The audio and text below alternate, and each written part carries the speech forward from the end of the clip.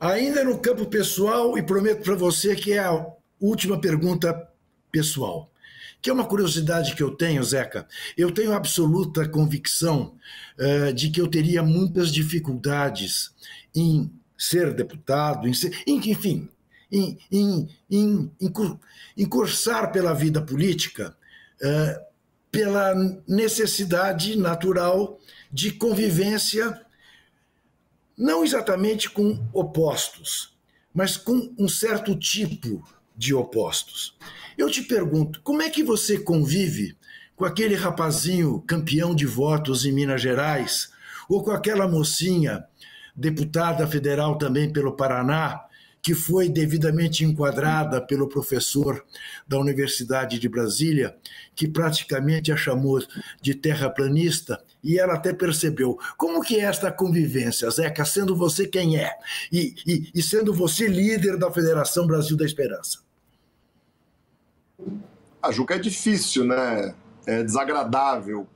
E é muito ruim para a política, é muito ruim para o parlamento, né? Você ter pessoas assim tão desqualificadas, né, ocupando cargos tão importantes. Mas a democracia é assim, é, cabe a gente respeitar e eu muitas vezes procuro ignorar.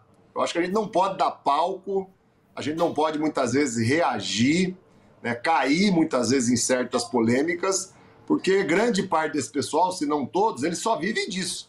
Eles só vivem de polêmica, eles só vivem dessa aposta no conflito, no ódio, na mentira, na palhaçada, né, que está virando aqui algo até corriqueiro. E a minha ação também é de levar da forma mais dura possível ao cabo do que diz o regimento interno aqui da Câmara, do que diz as leis do país. Eu já cansei de assinar aqui né, denúncias ao Conselho de Ética, denúncias ao Procurador-Geral da República, denúncias ao Supremo Tribunal Federal, sempre que eu vejo um deputado, uma deputada, um senador, uma senadora cometendo atos absurdos, insanos, criminosos, que afrontam direitos, que afrontam é, opções de gênero que uma pessoa possa ter, que afrontam questões de raça, que afrontam questões né, da civilidade humana, né, que muitas vezes falta a esse pessoal. Então eu, eu uso esse misto, sabe, de eu ignorar alguns casos, agir no rigor da lei, denunciando os absurdos em outros,